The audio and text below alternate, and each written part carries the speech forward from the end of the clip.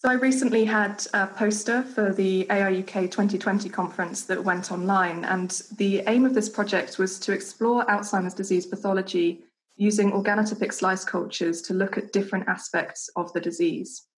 So, whilst we have animal models of the disease, none of them perfectly replicate all of the aspects of the disease that we see in humans.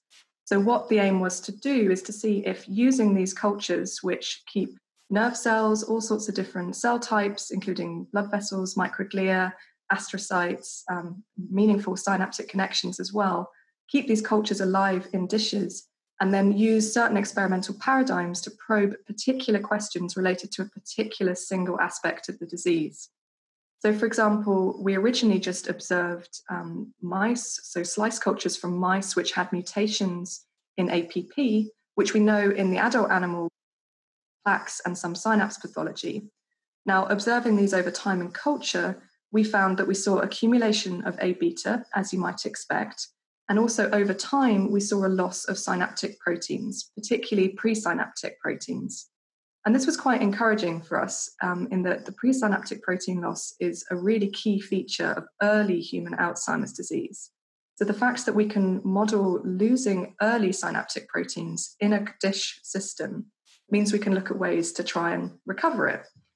Now, one of the weirdest results that we found from this was despite the fact that the loss of synaptic proteins correlates really nicely with the increase in A beta we see in this culture system, removing A beta production through application of a BACE 1 inhibitor didn't actually rescue the synapse loss in our model. So, one thing that we're probing with this is that whether the model itself, which has APP overexpression, whether APP overexpression could also cause synapse loss separately to additional production of A beta. Now, that will be interesting not only from telling us whether our models are showing us something different to human Alzheimer's disease, but also whether actually APP overexpression could be something that occurs in aspects of disease, particularly in individual nerve cells responding to damage. It's also important to remember that people with Down syndrome have an extra copy of APP, and go on to develop Alzheimer's disease often. So it might not just be an increase in A beta that's important, but also APP. Um, we're using this model as well. We also probed questions relating to tau, and I'm particularly interested in how lowering normal levels of tau affect both normal responses to synapses, but also in the context of Alzheimer's disease. And I was really interested to find that if we use slice cultures with APP mice crossed to mice which were lacking tau, not only did we not rescue the synapse loss, but we actually found that the mice um, slice cultures from mice lacking tau showed less synaptic protein than from slice cultures with mice with normal tau. So this led me to kind of explore that actually a normal function of tau in a standard situation might be to maintain normal healthy synapses. And sort of a side effect of um, accumulation of tau that we see in Alzheimer's disease might be to disrupt some of these normal functions.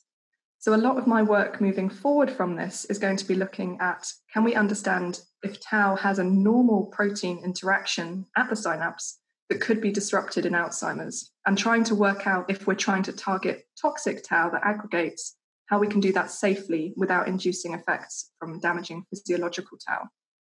Um, and finally, we used this model system to explore angiogenesis.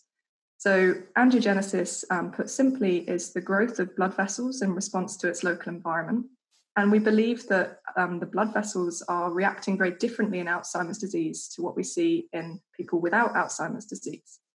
And very interestingly, although synapse loss we found didn't seem to be that A beta dependent in our model, we saw a huge A beta dependent effect on the number of blood vessels within the culture system.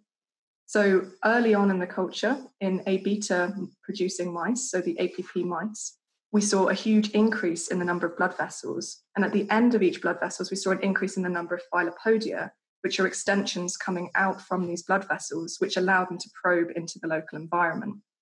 And we found that application of a BACE inhibitor completely normalized this um, change in blood vessels.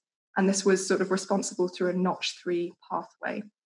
So, really, to summarize, it's kind of a broad um, poster which discusses a lot of different uses of the model system. But the idea being that we can use it to pick out very individual questions to understand okay, does this aspect of pathology is that responsible for A beta or tau or synapses? And getting all this information together, we can then start to build a better picture of what's really happening in a very complex environment in the Alzheimer's disease brain.